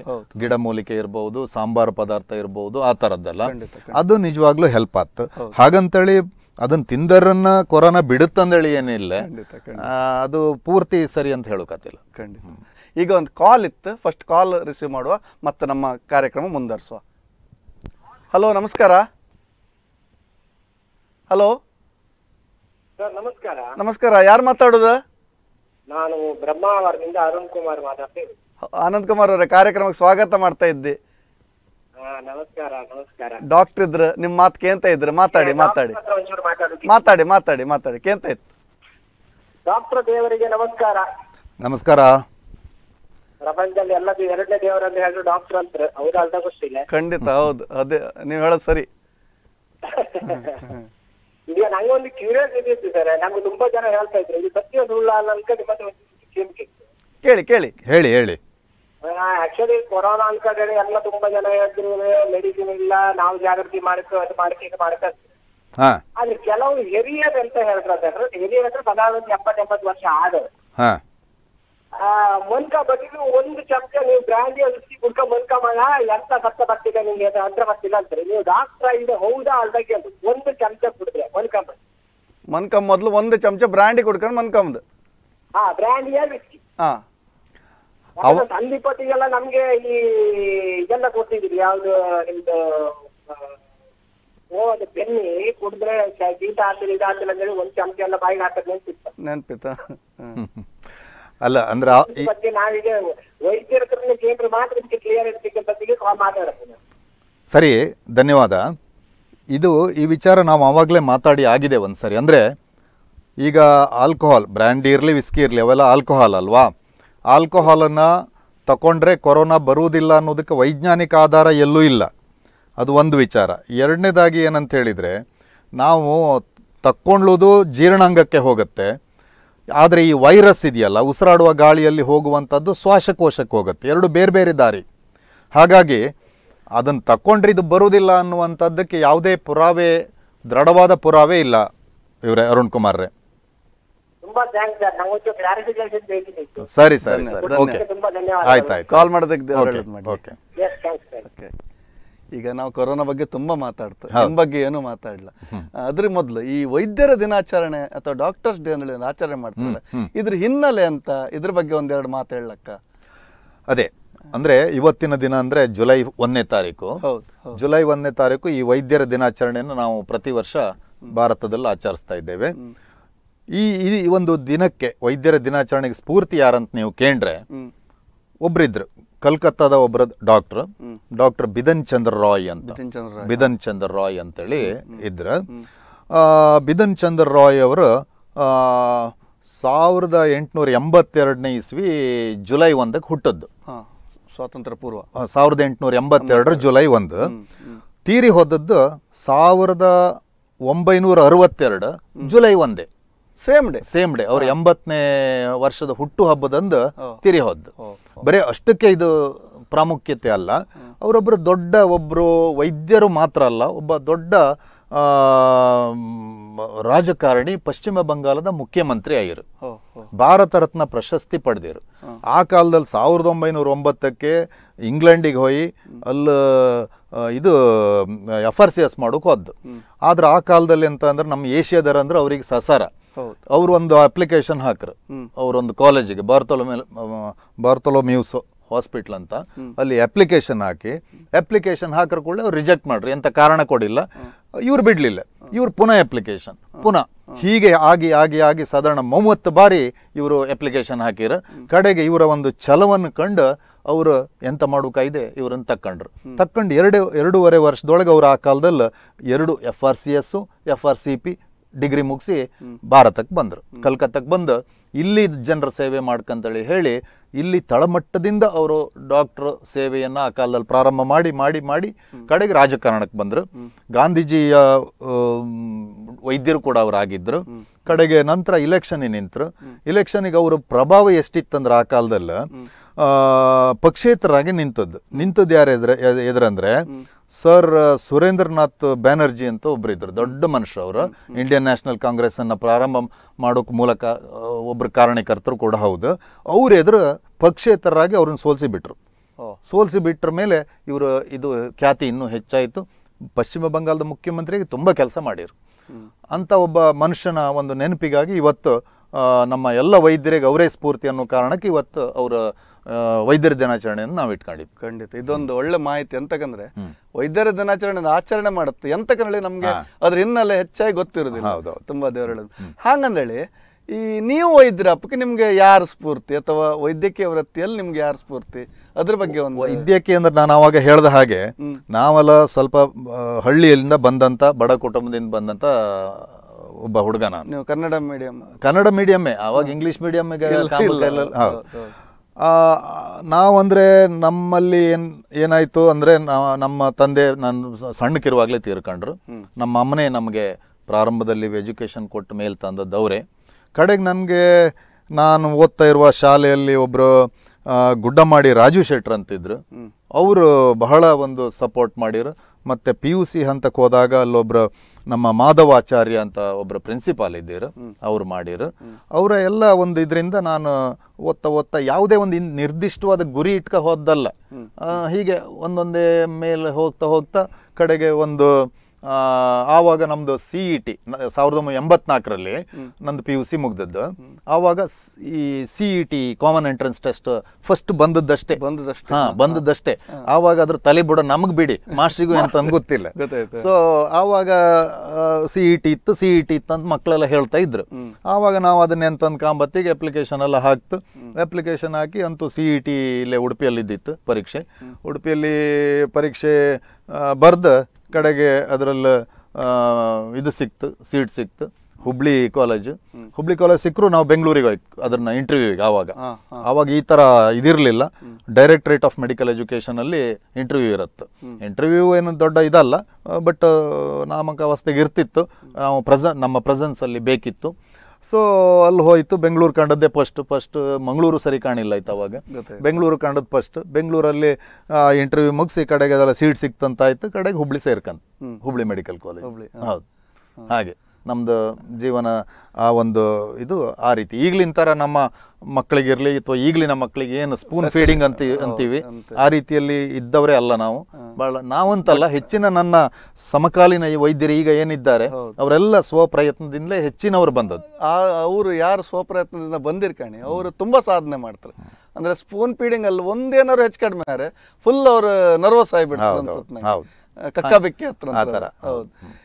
ಈಗ ವೈದ್ಯಕೀಯ ವೃತ್ತಿ ವೈದ್ಯರ ಆದ್ಮೇಲೆ ಅಂದ್ರೆ ಈಗ ಒಂದ್ಸಲ ನಿಮ್ಮ ಡಿಗ್ರಿ ತಕೊಂಡ್ರ ಮೇಲೆ ನಿಮಗೆ ಯಾರು ಬೆನ್ನ ಬೆನ್ನಿಗೆ ನಿಂತ್ರು? ಅಲ್ಲ ಡಿಗ್ರಿ ಅಂದರೆ ನಾವು ಮುಗಿಸಿ ಬಂದ ಮೇಲೆ ಅದೇ ನಾ ಹೇಳಿದ್ನಲ್ಲ ಅವಾಗ ನಮ್ಮ ಎಲ್ಲ ಸೇರಿ ನಾವು ನಮ್ಮ ಮಾವಂದಿರು ನಮ್ಮ ಫ್ಯಾಮಿಲಿ ಎಲ್ಲ ಸೇರಿ ನಾವು ಆಸ್ಪತ್ರೆ ಅಂತೇಳಿ ಒಂದು ಕಟ್ತು. ಬಟ್ ಅದ್ರ ಮೇಲೆ ನಮ್ಗೆ ಇವತ್ತಿಗೂ ಕೂಡ ಒಂದು ಹೆಮ್ಮೆ ಇದೆ ನಾನೊಂದು ವೈದ್ಯ ಆದದ್ದಕ್ಕೆ. ಕಾರಣ ಏನಂದ್ರೆ ಬೆಳಿಗ್ಗೆ ನಾವು ಎದ್ದು ಮನೆಯಿಂದ ಹೊರಡುತ್ತು. ಹೊರಟು ಶೂ ಲೇಸ್ ಕಟ್ಕಂಬತ್ತಿಗೆ ನನಗೊಂದು ಧೈರ್ಯ ಇರುತ್ತೆ. ನಾನು ಇವತ್ತು ಹತ್ತು ಜನರ ಕಣ್ಣೀರಾರು ನಾನು ಒರೆಸ್ತೆ ಅವರಿಗೆ ಒಂದು ಅವರ ಒಂದು ಏನು ಸಫರಿಂಗ್ ಇರುತ್ತೋ ಏನು ಅವರಿಗೆ ನೋವು ಇರುತ್ತೋ ಅದನ್ನು ನಾನು ಸರಿ ಮಾಡುವ ಒಂದು ಧೈರ್ಯ ಇದೆ ನನಗೆ ಈ ಪ್ರೊಫೆಷನ್ ಯಾವ ಇದರಲ್ಲೂ ಬರುವುದಿಲ್ಲ ಬೇರೆ ಯಾವ ವೃತ್ತಿಯಲ್ಲೂ ಇದು ಬರುವುದಿಲ್ಲ ಹಾಗಾಗಿ ನನಗದೊಂದು ಹೆಮ್ಮೆ ಇದೆ. ಆದರೂ ನನಗೆ ಒಂದೊಂದು ಸಲ ಬೇಜಾರು ಅಂತಂದರೆ ಈಗ ವೈದ್ಯರು ಅಷ್ಟು ಕಷ್ಟಪಟ್ಟು ಜನರ ಸೇವೆ ಮಾಡ್ತಾರೆ. ನೀವು ಹೇಳ್ದಂಗೆ ದಿನಕ್ಕೆ ಒಂದು ಹತ್ತು ಜನರ ಕಣ್ಣು ನೀರು ಒರೆಸ್ತೆ ಹೇಳಿ ನೀವು ಮನೆಯಿಂದ ಹೊರಡ್ತೀರಿ. ಆದರೂ ಈಗ ಹೆಚ್ಚಾಗಿ ಈ ವೈದ್ಯ ವೈದ್ಯರಿಗೆ ಮತ್ತು ಈ ಜನರಿಗೆ ಸಂಘರ್ಷಗಳು ಕೆಲವೆಲ್ಲ ಅಂದರೆ ಈಗ ತಪ್ಪು ಯಾರಿಂದೂ ಆಗ್ಬೋದು. ಅಂದರೆ ಬೇಕೆ ಅಂದೇಳಿ ಮಾಡೋದಿಲ್ಲ. ಏನೋ ಒಂದು ಅದನ್ನು ಅದನ್ನ ಸಂಘರ್ಷಕ್ಕೆ ತಗೊಂಡು ಹೋಗ್ತಾರಲ್ಲ ಅದ್ರ ಬಗ್ಗೆ ನೀವು ಹೌದು ಅದು ನಿಜ. ಅದ ಹಾಗೆ ನೋಡಕೋರೆ ನೀವು. ಈಗ ಈ- ಈ ಒಂದು ಆಧುನಿಕ ಜಗತ್ತಲ್ಲ ಎಲ್ಲ ವೃತ್ತಿಯಲ್ಲೂ ಅದರದ್ದೇ ಆದ ಬದಲಾವಣೆ ಆಯ್ತು. ಆಯ್ತು, ಅಲ್ವಾ? ಎಲ್ಲ ವೃತ್ತಿಯಲ್ಲೂ ಇಂಜಿನಿಯರು ಲಾಯರು ಎಲ್ಲ ವೃತ್ತಿಯಲ್ಲೂ ಆಯ್ತು. ಈಗ ನಮ್ಮ ವೃತ್ತಿಯಲ್ಲಂದ್ರೆ ಸಾಧಾರಣ ಎಂಬತ್ತಾರನೇ ಇಸ್ವಿ ಸಾವಿರದ ಎಂಬತ್ತಾರನೇ ಇಸ್ವಿಯಲ್ಲಿ ನಮ್ಮ ಕೇಂದ್ರ ಸರ್ಕಾರ ಎಂತ ಮಾಡ್ತ ಗ್ರಾಹಕ ಹಿತರಕ್ಷಣಾ ಕಾಯ್ದೆನ ತಂತು. ಅದರಲ್ಲೂ ಮೆಡಿಕಲ್ ವೈದ್ಯಕೀಯ ವೃತ್ತಿ ಕೂಡ ಸೇರ್ಕಂದಳಿ ಮಾಡ್ತು.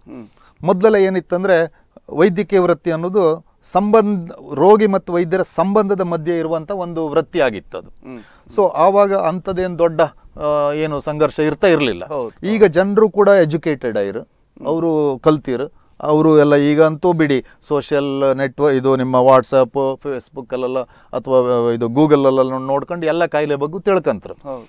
ಈಗ ಇಲ್ಲಿ ಇದು- ಇದು ಪ್ರಶ್ನೆ ಅಂತಂದರೆ ಇದರಲ್ಲೀಗ ವೈದ್ಯರ ತಪ್ಪೋ ಈ ಸಂಘರ್ಷಕ್ಕೆ ರೋಗಿ ತಪ್ಪೋ ಅಥವಾ ಸಮಾಜದ ತಪ್ಪೋ ಯಾವುದಂತ ಅಷ್ಟು ಸ್ಪಷ್ಟವಾಗಿ ನಮ್ಗೆ ಹೇಳೋಕಾತಿಲ್ಲ ಇದು ಎಲ್ಲ mixture of all these things so ಇದರಲ್ಲಿ ಏನಂತ ಹೇಳಿದ್ರೆ ಕೆಲವೊಮ್ಮೆ ನಾನು ವೈದ್ಯರ ತಪ್ಪಿಲ್ಲ ಅಂತ ಹೇಳೋದಿಲ್ಲ. ಕೆಲವು ಎಲ್ಲ ವೃತ್ತಿಯಲ್ಲಿ ಇದ್ದಂಗೆ ತಪ್ಪಿತಸ್ಥರು ಇರ್ತಾರೆ. ಹೌದು. ಸೊ ಅಲ್ಲಿ ಏನಾಗತ್ತಂದ್ರೆ ಯಾವ ವೈದ್ಯರು ಕೂಡ ರೋಗಿಗೆ ಹಾನಿ ಆಗ್ಬೇಕಂತೇಳಿ ಹೇಳಿ ಬಯಸುವುದು ನನ್ನ ಅಭಿಪ್ರಾಯ ಇದ್ರ ಪ್ರಕಾರ ಇಲ್ವೇ ಇಲ್ಲ. ಇಲ್ವೇ ಇಲ್ಲ. ಮತ್ತೆ ತಪ್ಪು ಆಗುವಂಥದ್ದು ಅದು ಮಾನವನ ಸಹಜ ಗುಣ. ಸಹಜ ಗುಣ. ಅವನು ತಪ್ಪು ಮಾಡಿಲ್ಲ ಅಂದ್ರೆ ಅವ ಮನುಷ್ಯ ಅಲ್ಲ. ಅಲ್ಲ. ಆದರೆ ಇಲ್ಲಿ ಯಾಕೆ ಈಗ ಉದಾಹರಣೆಗೆ ಲಾಯರ್ ತಪ್ಪು ಮಾಡೋದಿಲ್ಲ ಇಂಜಿನಿಯರ್ ಮಾಡೋದಿಲ್ಲ ಅಥವಾ ಇನ್ನೆಂಥದ್ದು ಒಂದು ಬೇರೆ ಪ್ರೊಫೆಷನಲ್ ಮಾಡೋದಿಲ್ಲ ಅಲ್ಲೆಲ್ಲ ಅದು ಹೈಲೈಟ್ ಆತಿಲ್ಲ ಇಲ್ಲಿ ಯಾಕೆ ಆತಂದ್ರೆ ನಾವು ಆಟ ಆಡ್ತಾ ಇರುವುದು ರೋಗಿಯ ಜೀವದ ಜೊತೆ. ಜೀವ ಅನ್ನೋದು ಅಷ್ಟು ಪ್ರೆಷಿಯಸ್ ಇರೋದ್ರಿಂದ ಅದು ಸಣ್ಣದಿದ್ದದ್ದು ಅದು ಇಷ್ಟು ದೊಡ್ಡದು ಆಗತ್ತೆ ಕಡೆಗೆ.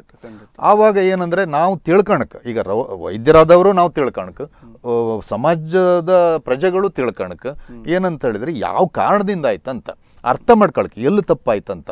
ಸುಮ್ಮನೆ ಏನೋ ಒಬ್ಬ ಒಂದು ಒಬ್ಬ ವ್ಯಕ್ತಿ ಆಸ್ಪತ್ರೆ ಸತ್ತೋದ ಅಂದ ಕೂಡಲೇ ಆಸ್ಪತ್ರೆ ಇಪ್ಪದು ಹುಟ್ಟುಕು ಮತ್ತು ಸಾವುಕು ಆಸ್ಪತ್ರೆ ಎರಡು ಅಲ್ಲೇ. ಎರಡು ಅಲ್ಲೇ. ಅಲ್ಲಿ ಸತ್ತ ಅಂದ ಕೂಡಲೇ ನಾವು ಗಲಾಟೆ ಮಾಡೋದಲ್ಲ.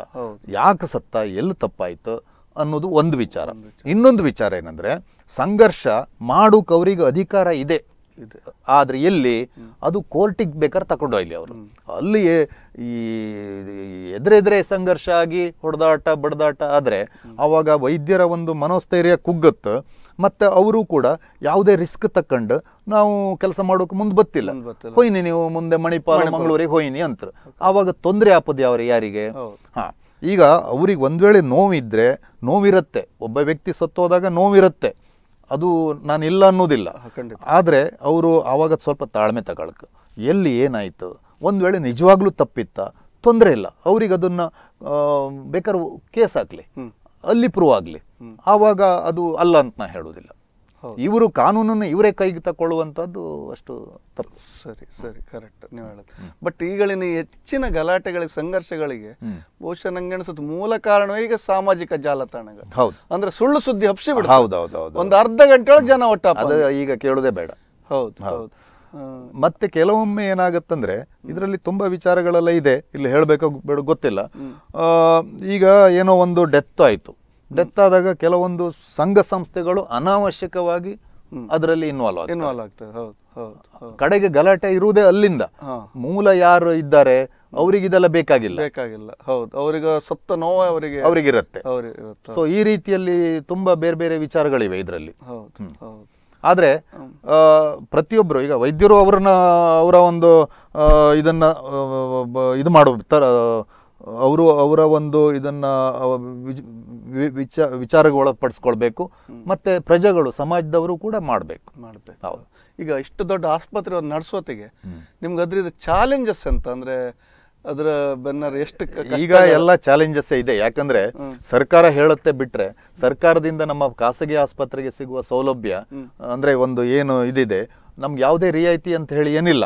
ಒಂದು ಕಮರ್ಷಿಯಲ್ ಎಸ್ಟಾಬ್ಲಿಷ್ಮೆಂಟ್ ತರನೇ ನಮ್ಮನ್ನ ಟ್ರೀಟ್ ಮಾಡ್ತಾರೆ. ಮತ್ತೆ ಬೇರೆ ಬೇರೆ ಎಷ್ಟು ಸಾಧಾರಣ ಒಂದು ಮೂವತ್ತರಿಂದ ನಲವತ್ತಕ್ಕಿಂತ ಹೆಚ್ಚು ಬೇರೆ ಬೇರೆ ಇಲಾಖೆಗಳಿಂದ ನಾವು ಪರ್ಮಿಷನ್ ತಗೊಳ್ಬೇಕು ಬೇರೆ ಬೇರೆ ಕಾರಣಕ್ಕೆ ನಡೆಸಬೇಕು. ಮತ್ತು ಕೆಲವೊಮ್ಮೆ ನಮಗೆ ಹ್ಯಾಂಡ್ಸ್ ಕೊರತೆ ಇರ್ತದೆ. ಅವೆಲ್ಲ ತುಂಬ ವಿಚಾರಗಳಿವೆ. ಯಾಕಂದರೆ ಅಷ್ಟು ಸುಲಭ ಇರೋದಿಲ್ಲ ಅದೆಲ್ಲ. ಖಂಡಿತ ಖಂಡಿತ. ಈಗ ಈಗ ಕರೋನಾಕ್ಕೆ ಬಪ್ಪುದಾರೆ ಆ, ಈಗ ಇಂಗ್ಲೀಷಲ್ಲಿ ಮೆಡಿಸಿನ್ ಇಲ್ಲ ನಮ್ಮ ಆಯುರ್ವೇದದಲ್ಲಿತ್ತು ಹೋಮಿಯೋಪತಿಯಲ್ಲಿತ್ತು ಅಂತೇಳಿ ಎಲ್ಲ ವ್ಯಾಟ್ಸಪ್ಪಲ್ಲೆಲ್ಲ ಹೌದೌದು ಹೌದು. ಇದು ಎಷ್ಟು ಮಟ್ಟಿಗೆ ನಿಜ ಅನ್ಸುತ್ತೆ ನಿಮಗೆ? ಅಲ್ಲ ಮೆಡಿಸಿನ್ ಇತ್ತಂದರೆ ಎರಡು ವಿಚಾರ. ಪೂರ್ಣ ಪ್ರಮಾಣದಲ್ಲಿ ಕೊರೋನಾವನ್ನು ಗುಣ ಮಾಡಿಸ್ ಪಡಿಸೋಕೆ ಮೆಡಿಸಿನ್ ಇತ್ತಾ? ಇಲ್ಲ. ಅಂತ ಒಂದು ವಿಚಾರ. ಕೊರೋನಾದ ವಿರುದ್ಧ ಸ್ವಲ್ಪ ದೇಹದ ರೋಗ ನಿರೋಧಕ ಶಕ್ತಿ ಹೆಚ್ಚು ಮಾಡೋಕೆ ಮೆಡಿಸಿನ್ ಇತ್ತಾ ಅದಿರಬಹುದು ಅದಿರ್ಬೋದು. ಹೌದು ಖಂಡಿತ. ಅದು ಈಗ ನೀವು ಯಾವುದೇ ನಮ್ಮ ಭಾರತೀಯ ಭಾರತೀಯ ಸಂಸ್ಕೃತಿಯಲ್ಲಿರುವಂಥ ಗಿಡಮೂಲಿಕೆ ಇರ್ಬೋದು ಆಯುರ್ವೇದದಲ್ಲಿ ಇರುವಂಥ ಕೆಲವು ಎಷ್ಟೋ ವಿಷಯಗಳಿಗೆ ರೋಗದ ನಿರ್ ರೋಗ ನಿರೋಧಕ ಶಕ್ತಿ ಹೆಚ್ಚು ಮಾಡೋಕೆ ಅದು ಇದಿದೆ ತಾಕತ್ತಿದೆ. ತಾಕತ್ತಿದೆ ಸೊ ಅದು ಇದ್ದರೆ ಅಂದ್ರೆ ಅದು ಪೂರ್ಣ ಪ್ರಮಾಣದ ಔಷಧ ಅಂತ ಆಗುದಿಲ್ಲ. ಒಂದು ಕಾಲ್ ಇತ್ತು. ಹಲೋ ನಮಸ್ಕಾರ. ಹಲೋ? ಹಲೋ ನಮಸ್ಕಾರ. ಹಲೋ ನಮಸ್ಕಾರ ಸರ್. ಯಾರು ಮಾತಾಡೋದು? ಇದು ಬ್ರಹ್ಮವರದಿಂದ ಸ್ಟೆಲ್ಲಾ ಅಂತ. ಬ್ರಹ್ಮವರದಿಂದ ಸ್ಟೆಲ್ಲರ್ ಅವರೇ ಕಾರ್ಯಕ್ರಮಕ್ಕೆ ಸ್ವಾಗತ ಮಾಡ್ತಾ ಇದ್ದಿ. ಹಲೋ? ಹಲೋ ಮಾತಾಡಿ. Hello thanks sir. Hello? Hello? Hello ಹೇಳಿ ಮಾತಾಡಿ ಮಾತಾಡಿ. ಡಾಕ್ಟರ್ ಉಮೇಶ್ ಪುತ್ರ ಅವ್ರ ಹತ್ರ ಒಂದು ಮಾತಾಡ್ಬೇಕಿತ್ತು. ಮಾತಾ ಅವ್ರು ನಿಮ್ಮ ಮಾತು ಕೇಳ್ತಾ ಇದ್ರು ಮಾತಾಡಿ ಮಾತಾಡಿ. ಹಲೋ ಸರ್ ಈಗ ಗವರ್ಮೆಂಟ್ ಇಂದ ಹೇಳಿ ಮೇಡಮ್ ಹಲೋ ನಮಸ್ತೆ ಸರ್ ನಮಸ್ತೆ. Happy doctors day thank you thank you sir ಇದು ಈಗ ಗವರ್ಮೆಂಟ್ ಇಂದ ಈಗ ಸರ್ ಕೆಲವೊಂದು ಹಾಸ್ಪಿಟಲ್ ಎಲ್ಲ ಕೊಟ್ಟಿದ್ದಾರೆ. ಹಾಂ. ಕೊರೋನಾ ಟ್ರೀಟ್ಮೆಂಟಿಗೆ ಅಂತೇಳಿ. ಹಾಂ. ಅದರಲ್ಲಿ ಈಗ ಕುಂದಾಪುರದಲ್ಲಿ ಸರ್ ನೀವೆಲ್ಲ ಅಡ್ಮಿಟ್ ಮಾಡ್ಕೊಳ್ತೀರಾ ನಿಮ್ಮ ಹಾಸ್ಪಿಟಲ್ ಅಲ್ಲೆಲ್ಲ? ಇಷ್ಟರವರೆಗಿಲ್ಲ. ಅಂದರೆ ಮೊನ್ನೆ ನಮ್ಮ ಡಿ ಸಿ ಜೊತೆ ನಮ್ಮದೆಲ್ಲ ಮೀಟಿಂಗ್ ಇದ್ದಿತ್ತು. ಅಂದರೆ ಅಲ್ಲಿ ಎಂಥ ವಿಚಾರ ಬಂತಂದರೆ ಇಷ್ಟರವರೆಗೆ ಏನಾಗಿದೆ ಅಂದರೆ ಕುಂದಾಪುರದಲ್ಲಿ ಅಲ್ಲಿ ನಮ್ಮಲ್ಲಿ ಆದರ್ಶ ಹಾಸ್ಪಿಟ್ಲ್ ಅಂತ ಹಳೆ ಆದರ್ಶ ಹಾಸ್ಪಿಟ್ಲು ಮತ್ತು ಕುಂದಾಪುರ ತಾಲೂಕು ಆಸ್ಪತ್ರೆಗಳನ್ನು ಕೊರೋನಾ ಆಸ್ಪತ್ರೆ ಅಂತೇಳಿ ಅಲ್ಲಿ ಅಡ್ಮಿಟ್ ಮಾಡಿ ಎಲ್ಲ ಇದು ಮಾಡ್ತಾಯಿದ್ರು ಮುಂದೆ ಈಗ ಬರುವ ಬರೋ ತಿಂಗಳು ಜುಲೈಯೋ, ಆಗಸ್ಟೋ ಕೇಸ್ ಜಾಸ್ತಿ ಆದರೆ ಆವಾಗ ಈ ಖಾಸಗಿ ಆಸ್ಪತ್ರೆಗಳು ತಮ್ಮಲ್ಲಿರುವಂಥ ಒಂದು ಐವತ್ತು ಶೇಕಡ ಬೆಡ್ಡನ್ನು ಈ ಕಾರಣಕ್ಕೆ ಮೀಸಲಿಡಬೇಕು ಅಂಥೇಳಿ ಡಿ ಸಿ ಅವರು ಹೇಳಿರು. ಅದಕ್ಕೆಲ್ಲ ನಾವು ಒಪ್ಪಿತ್ತು. ಆದರೆ ಈಗ ಇವತ್ತಿನ ತನಕ ಬೇರೆ ಯಾವುದೇ ಖಾಸಗಿ ಆಸ್ಪತ್ರೆಯಲ್ಲಿ ಕೊರೋನಾ ಪೇಷಂಟ್ ಇಲ್ಲ. ಏನು ಹೆದರೋದು ಬೇಡ. ಅದಿದ್ದರೂ ಅದಿದ್ರೂ ಕೂಡ ನಾಳೆ ಒಂದು ವೇಳೆ ನಾಳೆ ನಮ್ಮಲ್ಲಿ ಹಾಕರೂ ಕೂಡ ಪೇಷಂಟನ್ನು ಅವರಿಗೆ ಹೋಗೋಕೆ ಬೇರೆ ದಾರಿ ಬರೋಕೆ ಬೇರೆ ದಾರಿ ಆ ವಿಂಗೆ ಬೇರೆ ಫ್ಲೋರೇ ಬೇರೆ ಉಳಿದ ಒಂದು ಪೇಷಂಟ್ಗಳಿಗೆ ಏನು ತೊಂದರೆ ಆಗದಿದ್ದಂಗೆ ನಾವು ಸುರಕ್ಷತಾ ಕ್ರಮ ತಕೊಂಡು ಮಾಡುತ್ತೆ. ಹೆದರಬೇಡಿ. ಕಾಲ್ ಮಾಡೋದಕ್ಕೆ ದೇವರಳ್ಳದ್ ಮಾಡ್ಲಿ. ಈಗ ಒಂದು ಪ್ರಶ್ನೆ. ಈಗ ಶೀತ ಬರಲಿ ಜ್ವರ ಬರಲಿ ಮಲೇರಿಯಾ ಎಂತ ಬಂದ್ರು ಅದಕ್ಕೊಂದು ಮಾತ್ರೆ ತಕೊಂಡ್ರೆ ಆ ಕಾಯಿಲೆ ಗುಣ ಆಗ್ತಿಲ್ಲ. ಬಟ್ ಕೊರೋನಾ ಗುಣ ಆತ್. ಈಗ ಮೊನ್ನೆ ನಮ್ಮಲ್ಲಿ ಒಂದ್ ಸಾವಿರ ಜನ ಇದ್ರೆ ಒಂಬೈನೂರು ಜನ ಗುಣ ಆಯ್ತಂದ್ರೆ ಅದು ಹೆಂಗೆ ಅಷ್ಟು ಸುಲಭದಲ್ಲಿ ಗುಣ ಅದೇ ಅಂದರೆ ಯಾವುದೇ ಒಂದು ಈಗ ಹಾಗೆ ನಮ್ಮ ದೇಹಕ್ಕೆ ವೈರಸ್ಸೋ ಬ್ಯಾಕ್ಟೀರಿಯಾನೋ ಹೋತಾ ಇರುತ್ತೆ ದಿನ. ನಾವೊಂದು ಸಣ್ಣ ಒಂದು ಜ್ಯೂಸ್ ಕುಡಿದ್ರೆ ಅದ್ರಾಗೆ ಎಂತೆಲ್ಲ ಇರುತ್ತೆ. ಅದು ಎಲ್ಲ ನಮ್ಮ ದೇಹಕ್ಕೆ ಹೋಗಿ ಎಲ್ಲ ಬಾರಿ ಅದು ಕಾಯಿಲೆ ಶುರು ಆಪದಾರೆ ಬಹಳ ಕಷ್ಟ ಐತೆ ಮನುಷ್ಯ ಉಳಿಯುವುದಿಲ್ಲ. ಆದ್ರೆ ನಮ್ಮ ದೇಹಕ್ಕೆ ನಮ್ಮ ದೇಹದ ಅದ ಹೇಳಿದ್ನಲ್ಲ ರೋಗ ನಿರೋಧಕ ಶಕ್ತಿ ರೆಸಿಸ್ಟೆನ್ಸ್ ಪವರ್ ಇರುತ್ತೆ. ಯಾವಾಗ ರೋಗ ನಿರೋಧಕ ಶಕ್ತಿ ಕಡಿಮೆ ಆತ್ತೋ ಆವಾಗ ವೈರಸ್ನ ದಾಳಿ ಹೆಚ್ಚತ್ತು ಆವಾಗ ಕಾಯಿಲೆ ಉಂಟಾಗಿ ಅವನಿಗೆ ತಡ್ಕಂಬಕಾತಿಲ್ಲ ಖಂಡಿತ. ಹಾಗೆ. ಈಗ ದೈಜಿ ವರ್ಲ್ಡ್ ವೀಕ್ಷಕರಿಗೆ ಒಂದು ನಿಮ್ದು ಒಂದು ಸಂದೇಶ ಕೊಡೋದಾದ್ರೆ ಇವತ್ತು ವೈದ್ಯರ ದಿನಾಚರಣೆ ಮತ್ತು ಇವತ್ತು ಜಗತ್ತೇ ಸಂಕಷ್ಟದಲ್ಲಿತ್ತು. ನಿಮ್ದೊಂದು ಸಂದೇಶ ಅವರಿಗೆ ಕೊಡೋದಾದ್ರೆ ಸಂದೇಶ ಅಂದರೆ ನಾವೆಲ್ಲ ಒಂದು ನೆನ್ಪಿಟ್ಕೊಳ್ಬೇಕು. ಏನಂದರೆ ನಿಸರ್ಗದ ಎದುರು ಮನುಷ್ಯ ಎಂಥದೂ ಅಲ್ಲ. ಹೌದು ಹೌದು. ನಿಸರ್ಗದ ಎದುರೆ ಮನುಷ್ಯ ಎಂಥದೂ ಅಲ್ಲ. ನಾವು ಎಷ್ಟೋ ಚಂದ್ರಲೋಕಕ್ಕೂ ಬೇರೆ ಯಾವ ಲೋಕಕ್ಕೂ ಹೋಗಿ ಬರಲಿ. ಇಲ್ಲಿ ಭೂಮಿ ಮೇಲೆ ಭೂಮಿಗೆ ನಮ್ಮ ಭೂತಾಯಿಗೆ ನಾವು ಗೌರವ ಕೊಡೋದು ಕಲಿಕ್ ಕಲಿ ಕಲಿ ಖಂಡಿತ. ಅವ ಈ ವಾತಾವರಣದ ಕಶ್ಮಲತೆ ಅದು ಬೇಡದಿದ್ದೆಲ್ಲ ಅಪರಾಧ ಎಸ್ಕದ್ರ ಪರಿಣಾಮವೋ ಏನೋ ಗೊತ್ತಿಲ್ಲ. ಇದು ಕಾಯಿಲೆ ಬಂದಿತ್ತು. ಇದು ಬರೀ ಇದಲ್ಲ ಇನ್ನೂ ಬರ್ತಾ ಇರುತ್ತೆ. ಯಾಕಂದರೆ ಈ ವೈರಸ್ಗಳು ರೂಪಾಂತರ ಹೊಂದಿ ಹೊಂದಿ ಹೊಂದಿ ಒಂದೊಂದೇ ಕಾಯಿಲೆ ಬರೋದು ಬಹುಶಃ ಅದು ಸಮ ತಪ್ಸೋಕೆ ಆತಿಲ್ಲ. ಆತಿಲ್ಲ. ಅದು ಒಂದು. ಎರಡನೇದೇನೆಂದರೆ ಎಷ್ಟೇ ನಾನು ಅವಾಗ ಹೇಳಿದ್ನಲ್ಲ ನಿಮಗೆ ಎಂಥದೇ ಒಬ್ಬ ಅಗರ್ಭ ಶ್ರೀಮಂತ ಇರಲಿ ಯಾವನೇ ಇರಲಿ ಈ ಈ ಒಂದು ಕಾಯಿಲೆ ತಲೆಬಾಗ್ಲೇಬೇಕಾಗತ್ತೆ ಅಂದರೆ ಮನುಷ್ಯ ಆ ಮನುಷ್ಯ ಮನುಷ್ಯನ ಸಂಬಂಧವೇ ಇಲ್ಲಿ ಮುಖ್ಯ ಆಗುತ್ತೆ ಬಿಟ್ಟರೆ ಬೇರೆ ಯಾವುದು ಇಲ್ಲಿ ನಿಮ್ಮ ಹಣ ಇರ್ಬೋದು ಅಂತಸ್ತು ಇರ್ಬೋದು ಯಾವುದು ಕೌಂಟ್ ಆಗೋದಿಲ್ಲ. ಮತ್ತು ಒಂದ್ಸರಿ ಕಾಯಿಲೆ ಬಂದ ಮೇಲೆ ನಾವೆಲ್ಲ ಒಗ್ಗಟ್ಟಾಗಿ ಇದನ್ನು ಎದುರಿಸಬೇಕು ಒಗ್ಗಟ್ಟಾಗಿ. ಯಾಕಂದ್ರೆ ಒಗ್ಗಟ್ಟಿನಲ್ಲೇ ಬಲವಿದೆ. ಒಗ್ಗಟ್ಟಂದ್ರೆ ಒಟ್ಟು ಬಂದು ಇದು ಮಾಡೋದಲ್ಲ. ಇದನ್ನು ಹೇಗೆ ಮಾಡಕ್ಕೆ ಎಲ್ಲರೂ ಪ್ರತಿಯೊಬ್ಬರು ಅವರವರ ಕೆಲಸ ಮಾಡಕ್ಕೆ ಆದರೆ ಇಲ್ಲಿ ನಮ್ಮ ಭಾರತದಲ್ಲಿ ಅಂದರೆ ಈಗ ಕೇಸಸ್ ಭಾಳ ಜಾಸ್ತಿ ಆಗ್ತಾ ಇದೆ. ಈ ಹಂತದಲ್ಲಿ ಇನ್ನೂ ನಾವು ಜಾಗ್ರತೆ ತಗೊಳ್ಬೇಕು ಹೆದರ್ಕೊಳ್ಬಾರ್ದು. ಖಂಡಿತ. ಭಯ ಅನಾವಶ್ಯಕ ಭಯ ಪಡುವ ಅವಶ್ಯಕತೆ ಇಲ್ಲ. ವೈದ್ಯರನ್ನ ಈಗಾಗಲೇ ಎಲ್ಲ ಹೇಳಿದ ಹಾಗೆ ಅವರು ದೇವರು ಇವರು ದೇವರು ಅಂತ. ಅದು ದೇವರು ಅಂತೇಳಿ ಹೇಳಬೇಕಂತ ನಾವು ಯಾರೂ ಅಪೇಕ್ಷೆ ಮಾಡುವುದಿಲ್ಲ ಆದರೆ ಎಲ್ಲ ಬಾರಿಯೂ ನಾವು ಮಾಡಿದ ಒಂದು ಕೆಲಸಕ್ಕೆ ಒಂದು ಗೌರವ ಕೊಟ್ಟರೆ ಸಾಕು. ಖಂಡಿತ. ಅದಕ್ಕಿಂತ ಹೆಚ್ಚು ನಾವು ಏನು ಅಪೇಕ್ಷೆ ಮಾಡೋದಿಲ್ಲ. ಖಂಡಿತ ಖಂಡಿತ ಖಂಡಿತ. ಕಾರ್ಯಕ್ರಮಕ್ಕೆ ಬಂದ್ರಿ ನಮ್ಮೊಟ್ಟಿಗೆ ಮಾತಾಡ್ರಿ ನಿಮ್ಮ ಅನುಭವ ನಮ್ಮೊಟ್ಟಿಗೆ ಹಂಚ್ಕೊಂಡ್ರಿ. ನಿಮ್ಗೆ ದೈಜ್ವಾಳ್ ಪರವಾಗಿ ದೇವರೊಳ್ಳೇದು ಮಾಡಲಿ ಅಂತೇಳಿ ಹೇಳ್ತಾ ಇದ್ದೆ. ಹಾಗೆ ಎಲ್ಲ ವೀಕ್ಷಕರು ನಮ್ಮ ಕಾರ್ಯಕ್ರಮ ವೀಕ್ಷಣೆ ಮಾಡಿರಿ. ನಿಮಗೂ ಕೂಡ ದೇವರೊಳ್ಳೋದು ಮಾಡಲಿ. ಈ ಕಾರ್ಯಕ್ರಮ ಫೇಸ್ಬುಕ್ಕಲ್ಲಿ ಲೈವ್ ಇರುತ್ತೆ. ಯೂಟ್ಯೂಬಲ್ಲೂ ಈ ಕಾರ್ಯಕ್ರಮ ಬರುತ್ತೆ. ಈ ನಮ್ಮ ಕಾರ್ಯಕ್ರಮ ಕಾಣಿ ಮತ್ತು ನಮ್ಗೆ ಪ್ರೋತ್ಸಾಹ ಕೊಡಿ ಅಂತ ಹೇಳ್ತಾ ಇವತ್ತು ಹಾಯ್ ಮಾತಾಡೋರೆಲ್ಲ ಕಾರ್ಯಕ್ರಮ ಇಲ್ಲಿಗೆ ಮುಗಿಸ್ತಾ ಇದ್ದು. ಎಲ್ಲರಿಗೂ ನಮಸ್ಕಾರ. ನಮಸ್ಕಾರ.